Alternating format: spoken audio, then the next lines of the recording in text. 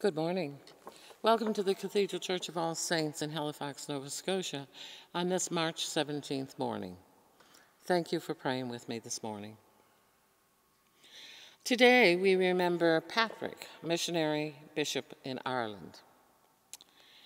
And according to For All the Saints. Today we honor Patrick, the patron saint of Ireland, who brought Christianity to the northern tribes of that country in the early 5th century. A native of Cornwall, or Devon, he was kidnapped by Irish pirates who sold him into slavery in their homeland. Six years later, he fled his Irish masters, returned to Britain, and was eventually ordained to the priesthood. He had a vision that he would return to the land of his former captivity, and around the year 438, that vision came true. He was made a bishop and given charge over the mission of the Irish.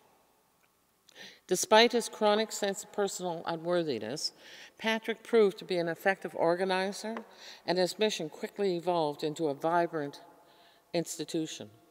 He also encouraged the growth of Irish monasticism, and within a few generations of his death, monks and nuns had replaced warriors as the heroes of the Irish people. The great hymn called St. Patrick's Breastplate was probably not composed by him, but it does reflect the kind of Christian spirituality that he planted in the heart of the Irish nation.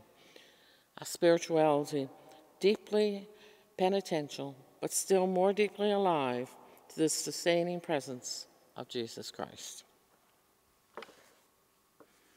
Now, as we gather our thoughts and prayers together, Christ came and proclaimed peace to you who were far off, and peace to those who were near, for through him both of us have access to our spirit, access in one spirit to the Father.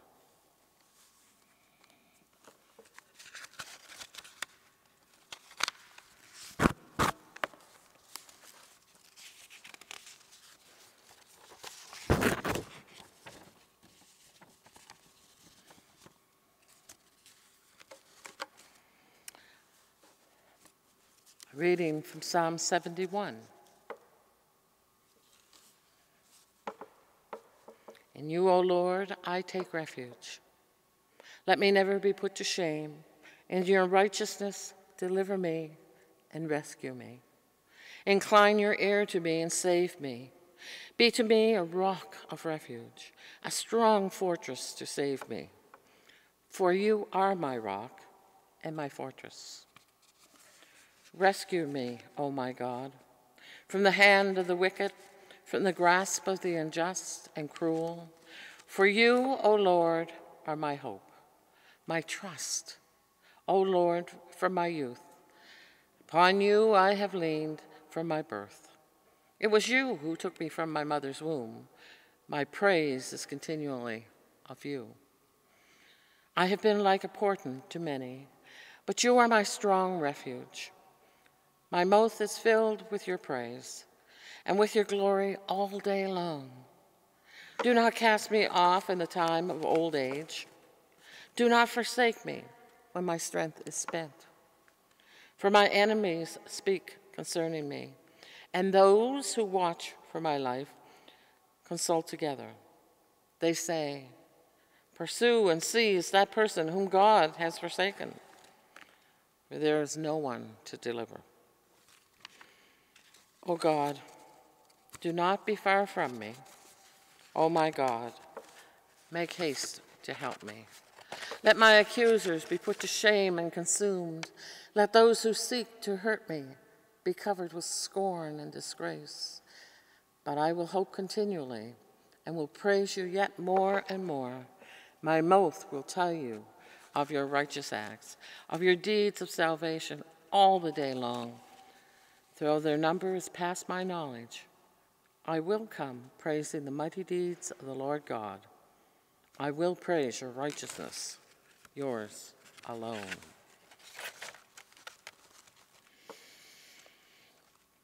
Glory to the Father, and to the Son, and to the Holy Spirit, as it was in the beginning, is now, and will be forever.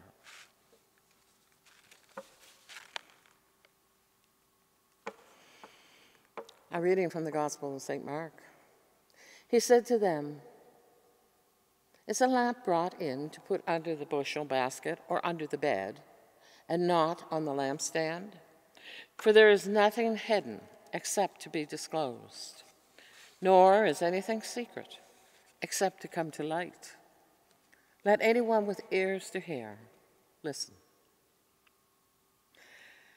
And he said this to them Pay attention to what you hear. The measure you give, those who have more will be given. And from those who have nothing, even what they have will be taken away. He also said, The kingdom of God is as if someone would scatter seed on the ground and would sleep and rise night and day, and the seed would sprout and grow. He does not know how. The earth produces itself first the stalk, then the head, then the full grain in the head. But when the grain is ripe, at once he goes in with his sickle because the harvest has come. He also said, With what can we compare the kingdom of God? Or what parable will we use for it?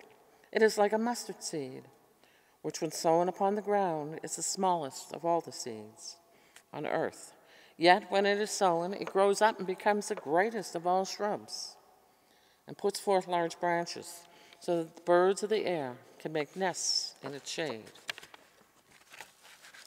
With many such parables he spoke the word to them. As they were able to hear it, he did not speak to them except in parables, but he explained everything in private to his disciples. The word of the Lord.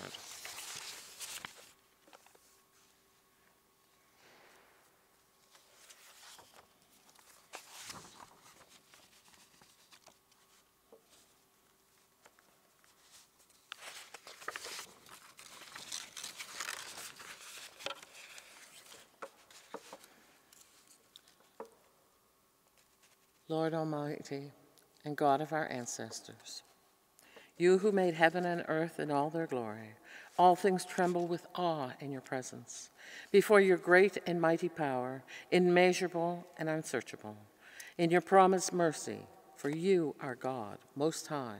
You are full of compassion, long suffering, and very merciful. And you relent at human suffering.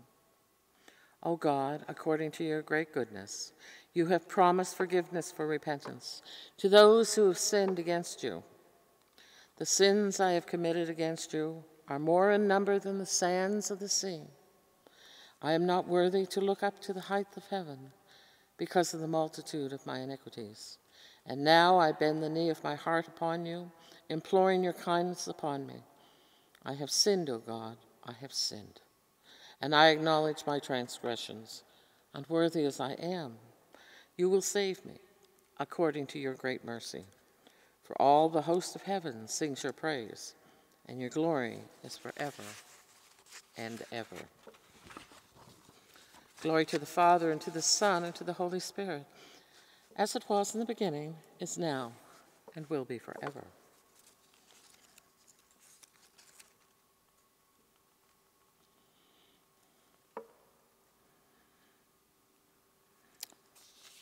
Let us affirm our faith with the Apostles' Creed. I believe in God, the Father Almighty, creator of heaven and earth. I believe in Jesus Christ, God's only Son, our Lord, who was conceived by the Holy Spirit, born of the Virgin Mary, suffered under Pontius Pilate, was crucified, died, and was buried. He descended to the dead. On the third day he rose again. He ascended into heaven and is seated at the right hand of the Father. He will come again to judge the living and the dead. I believe in the Holy Spirit, the Holy Catholic Church, the communion of saints, the forgiveness of sins, the resurrection of the body, and the life everlasting. Amen.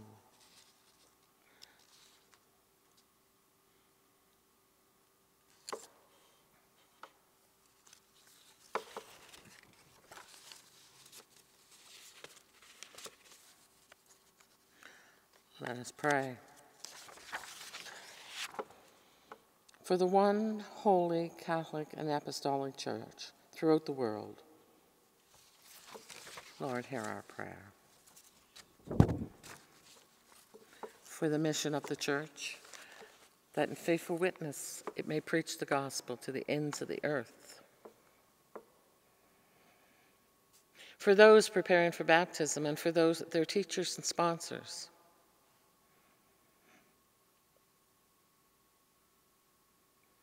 For the peace in the world. That a spirit of respect and reconciliation may grow among nations and peoples.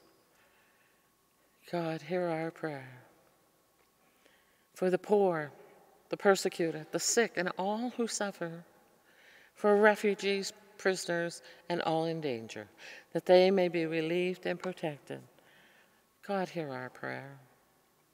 For all who have we have injured or offended, for grace to amend our lives and to further our reign. God, hear our prayer.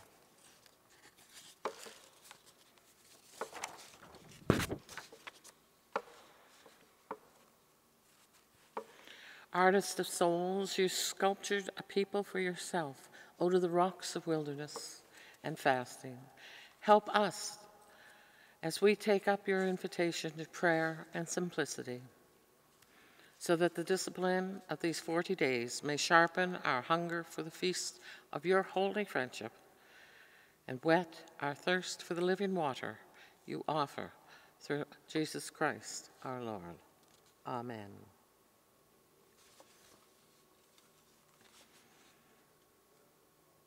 And let us together pray the prayer that our Lord has given us.